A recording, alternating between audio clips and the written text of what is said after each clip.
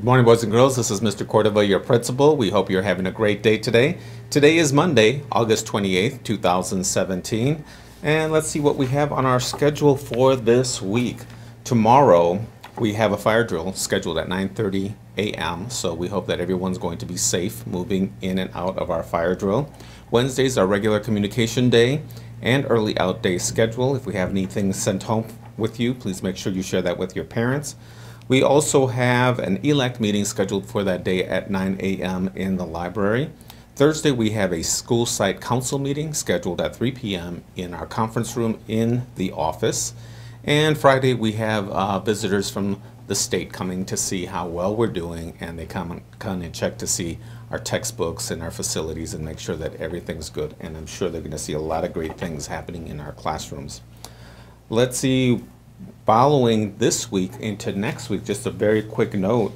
On Monday, September 4th, it is a holiday. It is Labor Day, so there is no school on Labor Day. That's Monday, and we come back to school on Tuesday. So we have three days this upcoming weekend to enjoy for ourselves.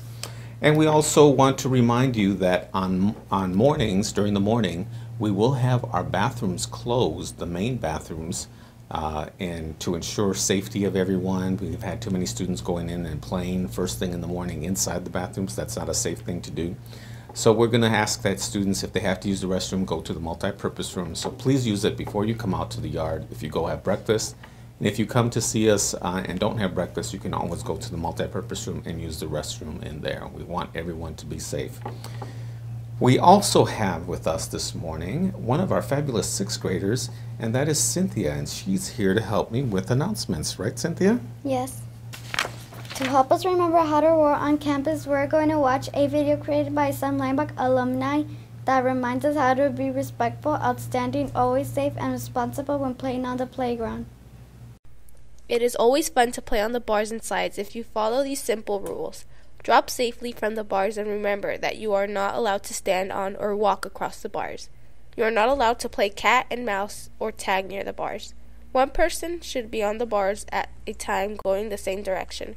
Slide from top to bottom with feet and legs inside the slide. No climbing up the slide from the bottom.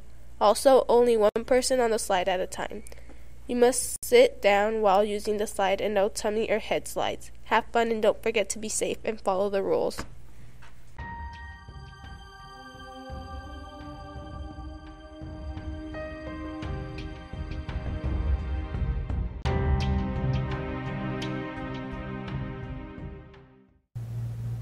We can't wait to see everyone roaring on the playground this week. Now, we would like to congratulate the class that won last week's Spirit Award. Congratulations, Ms. Kamula's class, for achieving 89% participation in our Spirit Wear. We hope you enjoyed having your lunch on the stage.